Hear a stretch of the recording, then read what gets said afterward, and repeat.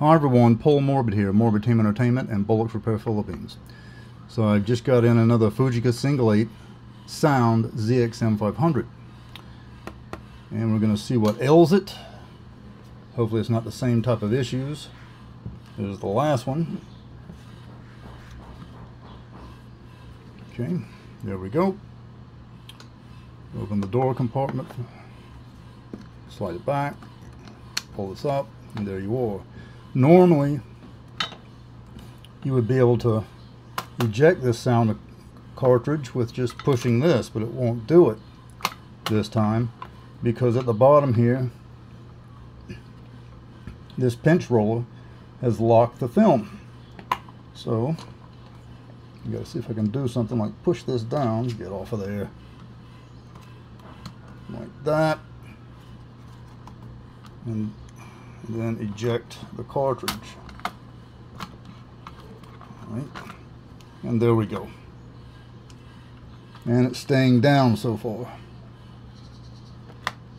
So there we are with another sound cartridge. And you know what? What is this? Ah. Okay.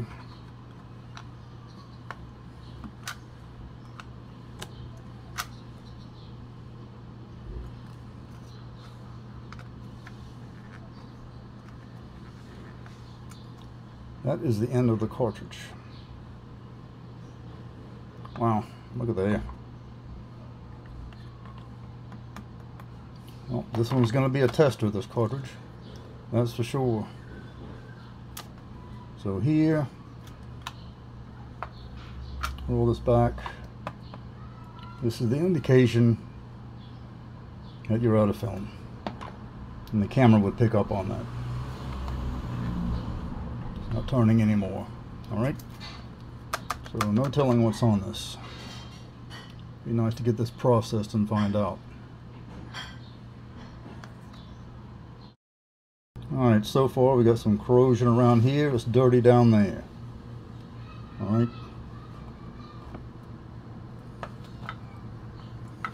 I'm looking at the pinch roller.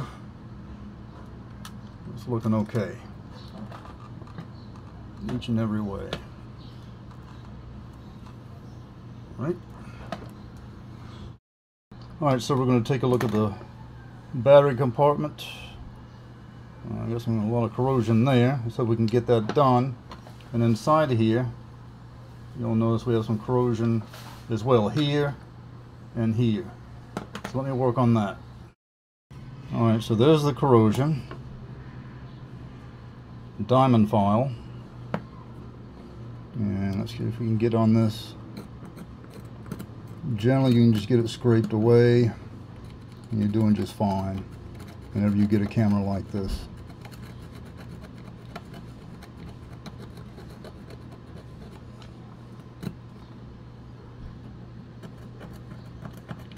So when you're doing it, this is all it's going to be for a while.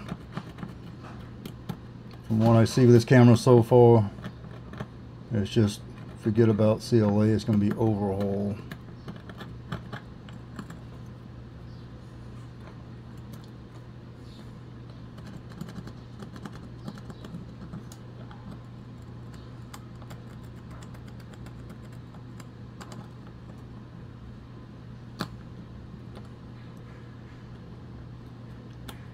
All right, just got to keep going. All right, it's going to be better if I just remove these two battery connections upon that'll let me do it. So we got a Phillips. A lot of rust there and corrosion. Let me check out what it's going to let me do. Okay, got movement. That's good and kind of rare.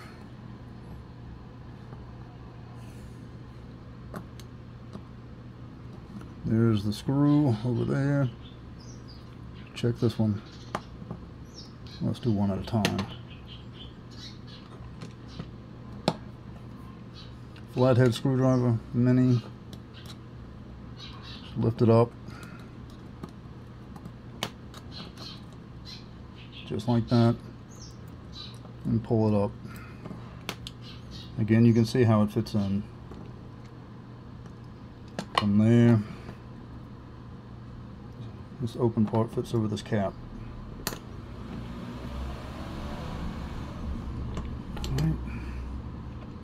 So now it's just a matter of cleaning this up.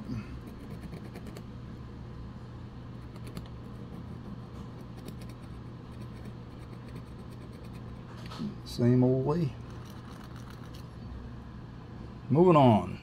Okay, so as you can see, I got one side pretty good. Turn it around to the back, and that as well. Okay, so I've got to do, clean this area off underneath. Okay, as you can see, and it's best to go ahead and clean it with alcohol. At least 99.9%. percent if you're going to use alcohol, use it at the minimum of 87%. Anything that less than that just contains water. Just all water, rather. Want to get these areas good because corrosion spreads and rust with it. Not a good thing. Alright, so just doing a cleaning like that. I'll install the good one here reinstall this and start on the other side.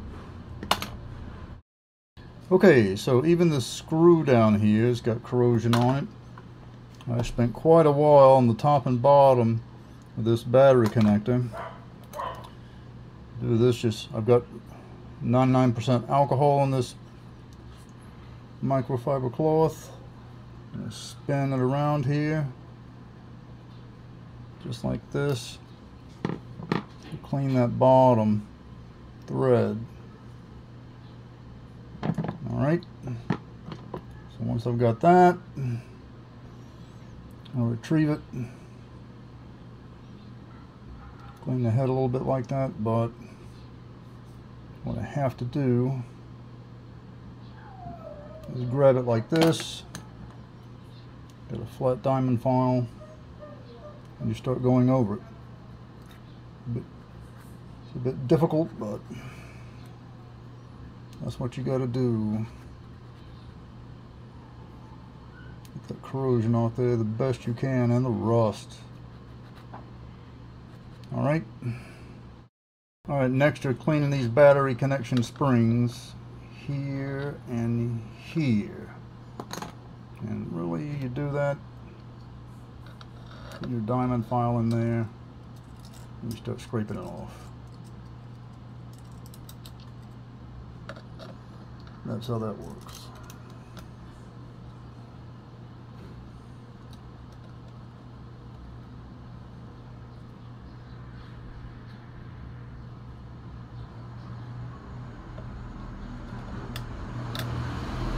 get in the inner and outer side of this start chipping away at it. Okay?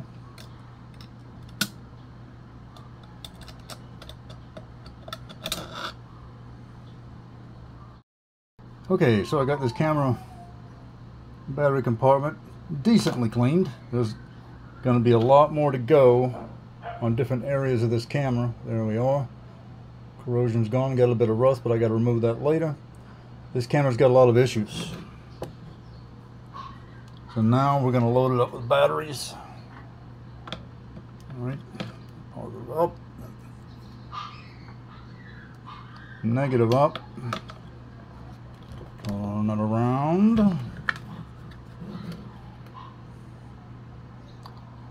All right, see what we got. I have a positive up it looks like. A negative up. Okay batteries in. I'm going to put on the cap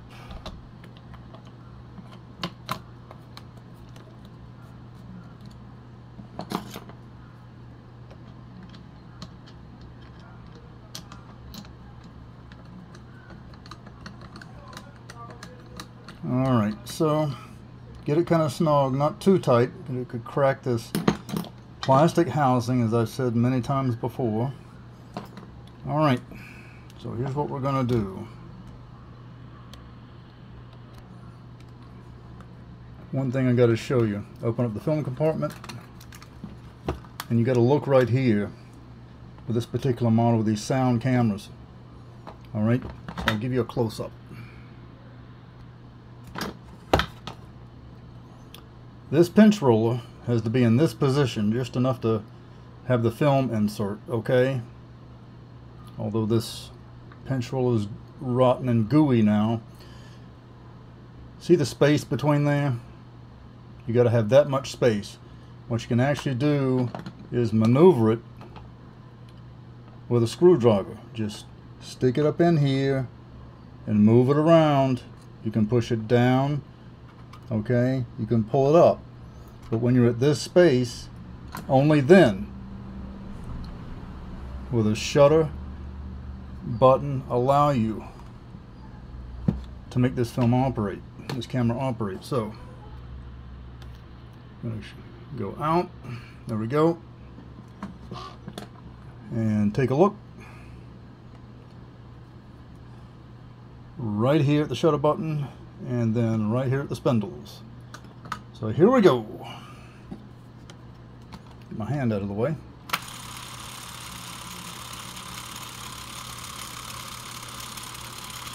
That's good news. We got something else to show you as well. Now up here with an automatic zoom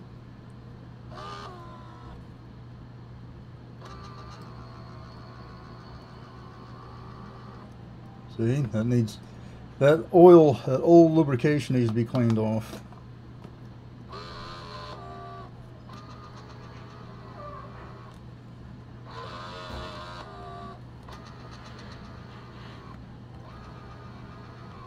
This camera has some issues. Just that old lubrication. Alright. Alright, next Okay, this is my tester right here of a, see the arrow right there? I'll even put a mark on it. Okay. Want to see if it'll move a silent cartridge. Yes, you can use silent cartridges on these cameras since uh, the silent cartridges are no longer available and they were deemed to be hazardous to the environment. Okay? So we're going to take this, put it right in here, make sure the film goes in between the gate and the pressure plate right here. You don't have to worry about this sound stuff anymore. Okay? Press the shutter button and watch.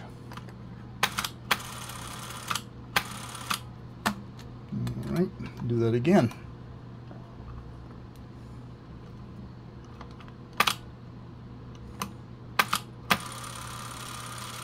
Mmm.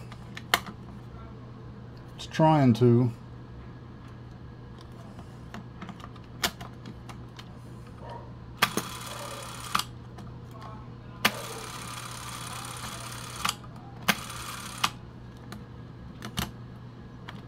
Push it to eject. Alright, so I got to see what's going on with that. Let me test the torque here. My fingers on here.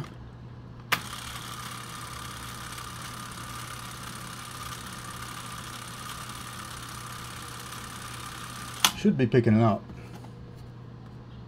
Let me try this.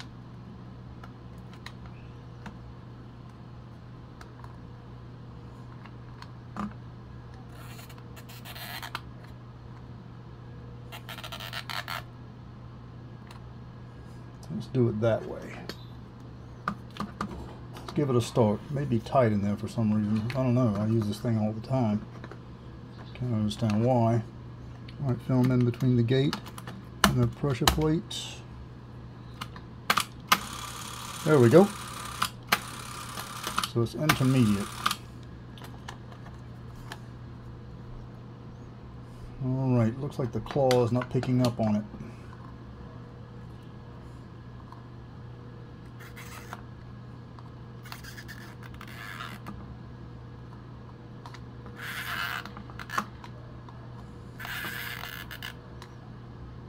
For some reason it's tight. I Don't know why.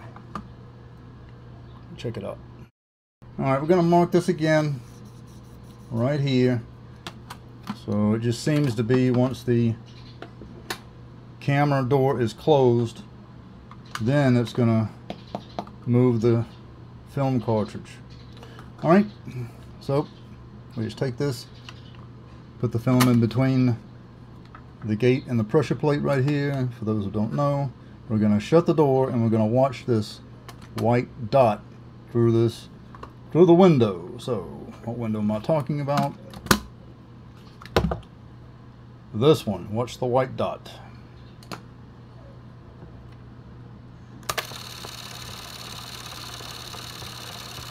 Okay, open the door, remove my test cartridge,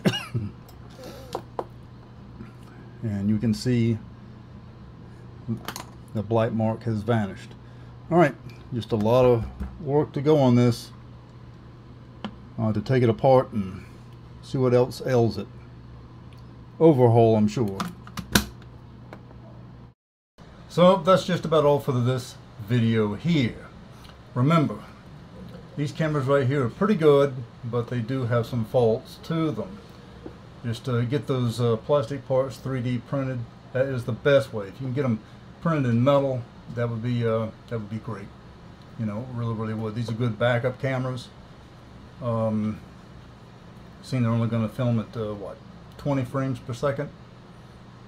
So that's just about it. But each one you get, you do have to get a CLA on it. You have to get it cleaned up. The one I got on the, the set, this is one of the ones I have. The second one I have right down here on my table. Um, I'm just uh, working on cleaning that up. Okay? Do contact me at the social media outlets provided on the screen. And remember, as always, do subscribe. Until next time, later.